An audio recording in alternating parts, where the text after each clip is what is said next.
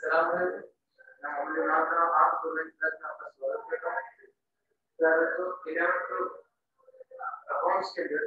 हम कुछ हैं इसके बारे में चीज़ें के बारे में चर्चा करेंगे जो हमें अकाउंट्स में काम है तो देखना बेटा सबसे पहले फाउंडेशन यानी व्यवहार दूसरा इसमें है कैपिटल यानी तीसरा इसमें है ड्राइंग्स यानी भारत पांचवा है एसेट्स यानी संपत्ति छठा है लाइबिलिटी यानी दायित्व सातवां है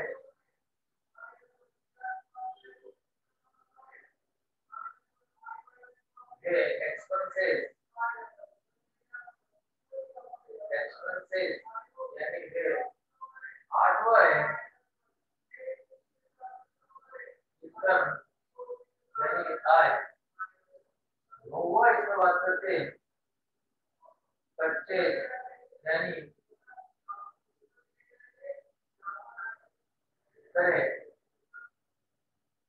दसवा इसमें सेल्स यानी विक्रय ग्यारहवा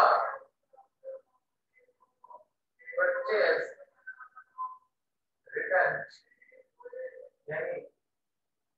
करे वापसी बारहवा सेल्स रिटर्न विक्रय वापसी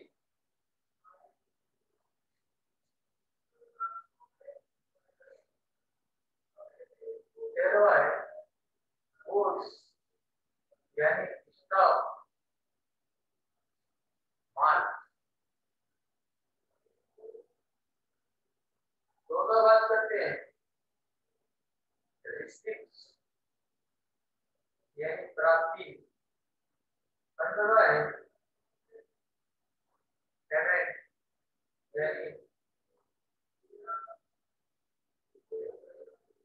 और बहुत इसके अंदर। आज एक पंद्रह कौन बारे में चर्चा कर लेते हैं। ये क्या है? तो सबसे पहले मैं लिखा ट्रांजेक्शन ट्रांजेक्शन क्या होता है व्यवहार जब एक व्यक्ति किसी दूसरे व्यक्ति को, एक व्यक्ति किसी दूसरे व्यक्ति से किसी मुद्रा के रूप में व्यवहार करता है या पैसे का लेन देन करता है, वो ट्रांजेक्शन कहलाता है। यानी एक व्यक्ति द्वारा किसी किसी कारण से पैसे का लेन देन हो रहा है। तो माल दे रहे हैं, कोई माल बेच रहे हैं, इस कारण से कोई लेन देन होता है, वो क्या कहलाता है? ट्रांजेक्शन, यानी व्यवहार कहलाता है। ठीक है? दूसरी बात करते हैं कैपिटल पूंजी। पूंजी क्या है जब व्यवसाय व्यवसाय यानी व्यवसाय शुरू करने के लिए तो पैसे व्यवसाय के अंदर लगाता है तो पैसे व्यवसाय के अंदर लगाता है वो क्या कहलाती है कैपिटल कहलाता है पूंजी कहलाती है एक व्यक्ति व्यवसाय शुरू करना चाहता है तो उसके लिए क्या चाहिए पैसे चाहिए तो उस पैसे को लगाता है अपने कुछ उस व्यवसाय में वो क्या है कैपिटल है बात ड्राइंग्स ड्राइंग से आरण आरण क्या? है तो व्यापारी द्वारा अपने निजी प्रयोग के लिए प्रयोग के लिए या तो कोई व्यवसाय से पैसे निकाल रहा है या कोई निकाल जैसे किसी ज़रूरत पड़ गई पैसे तो पैसे निकाल रहे माल की ज़रूरत पड़ गई सामान की पड़ गई और सामान निकाल रहे तो क्या कहते हैं ड्रग्स ये ड्रग्स जो है वो कैपिटल से एड करता है ठीक है यानी कैपिटल में लेस होता है क्योंकि व्यवसाय द्वारा निजी प्रयोग के लिए तो धन या जो माल निकाला जाता है वो क्या कहलाता है ड्रग्स कहलाता है तीसरी बात है असेस संपत्तियाँ व्यवसाय के पास जितना भी उसके पास कुछ है, वो सारी उसकी संपत्ति की रहती है। तो जो संपत्ति होती है, वो करता है। एक फिक्स असेट होती है, इसमें संपत्तियाँ चालू इसमें संपत्तियाँ तो होती है, वो एक से अधिक वर्ष की लिए रहती है। परंतु सिर्फ़ जो चालू संपत्ति है, वो एक वर्ष के लिए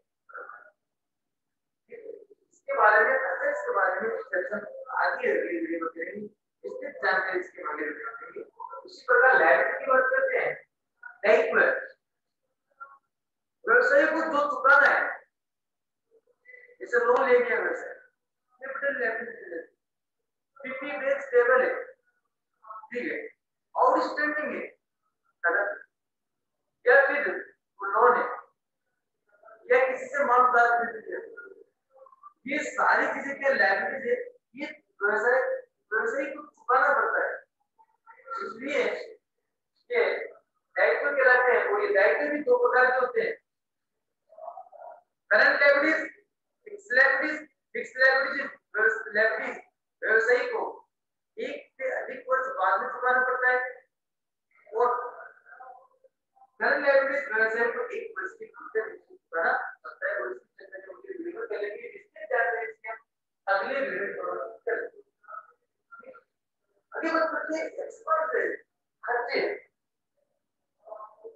व्यवसाय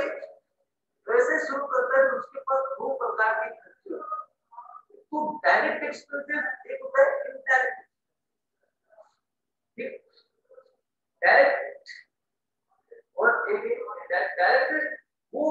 हैं जो व्यवसाय के माल को क्रय करने और बेचने के दरमियान रहते हैं तो हैं डायरेक्ट खर्चे इस खर्च के बगैर ना तो माल बिकता है ना माल आता है जैसे डॉक्टर है ऑफ़िस रेंट है वेजेस है माल आया पुराने घर तो बताओगे नहीं तो क्या माल गोदाम में रखा नहीं जाएगा नहीं रखा जाएगा तो उसके लिए ये सारे होते हैं वो डायरेक्ट एक्सपेंसेस होते हैं और इनडायरेक्ट एक्सपेंसेस होते हैं वो व्यवसाय को माल को बेचने के लिए करते जैसे इलेक्ट्रिसिटी एक्सपेंस रेफरेंस में है नाश्ता है इंटरेस्ट ऑन कमीशन है बोनस है डिस्काउंट ये जो खर्चे वो इनडायरेक्ट एक्सपेंसेस है ठीक है? उसी प्रकार इनकम की दो प्रकार की डायरेक्ट इनकम और इनडायरेक्ट इनकम यानी प्राप्त होना ठीक है? तो वो खर्चे जो हमें तो वे वे जो हमें माल को बेचने के लिए प्राप्त होते हैं, वो डायरेक्ट उनको भी तो बाद में काम में आती है। जैसे कमीशन प्राप्त हो गया बोनस प्राप्त हो गया, ब्याज प्राप्त हो गया ये डायरेक्ट आगे बात करते हैं परचेज करें जो व्यवसाय द्वारा जिस उद्देश्य के लिए माल करता है वो व्यवसाय द्वारा जिस माल का व्यापार किया जाता है। का व्यापार कर रहा है तो साइकिल उसकी जो माल की सकती है और जो वो खरीदता है जिस व्यवसाय जिस व्यवसाय का कार्य कर रहा है, जैसे कोई व्यक्ति कंप्यूटर का काम कर रहा है ठीक और कंप्यूटर खरीद रहा है तो क्या करेगा? परचेज कंप्यूटर खरीदने को क्या है परचेज यानी माल को खरीदना क्या कहलाता है परचेज उसी प्रकार माल को बेचना सेल्स ठीक आगे बात करते हैं परचेज खरीदे हुए माल को किसी कारणवश हम वापस भेज देते हैं तो क्या कहलाता है परचेज रिटर्न कहलाता है ठीक है वो सेल्स किसी कारणवश बेचो बेचो बेटो हुआ माल वापस हमारे पास आ जाता है। तो सेल्स रिटर्न ठीक है? बात करते हैं माल की स्टॉक की। माल के तो व्यवसाय किस वस्तु का व्यापार